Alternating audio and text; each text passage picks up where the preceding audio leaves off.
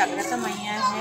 छठ पूजा के लिए हर साल जो छठ रखता है, वो वेट करते रहती रहती है कब छठ पूजा आएगा। और छठ पूजा में जो सूप होता है मतलब दूध डालना पड़ता है, वो बहुत ही शुभ काज है। और हम छठ पूजा में यहाँ पर काटगोला में आके जो जो जो मेरा माँ बहना लोग जो छठ रखा है, उसको हम प्रसादी दे के हम खुद गर्वित हो रहे और छठ सब अच्छा से मनाइए। और हम लोगों का बंगला में हर धर्म का मान मानव रहते हैं। जैसे हिंदू रहता है, मुस्लिम रहता है, हम लोगों का तीन नंबर वार्ड में भी रहते हैं सब धर्मों का मान।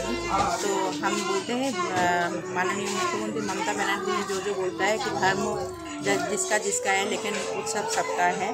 तो हम सब मिल बांट के यहाँ पर तीन नंबर वार्ड में छठ मैया का पूजा धूमधाम से कर रहे हैं। छठ मैया के पूजा के जो लोग पूजा कर रहे हैं, सभी का हम धन्यवाद देता है।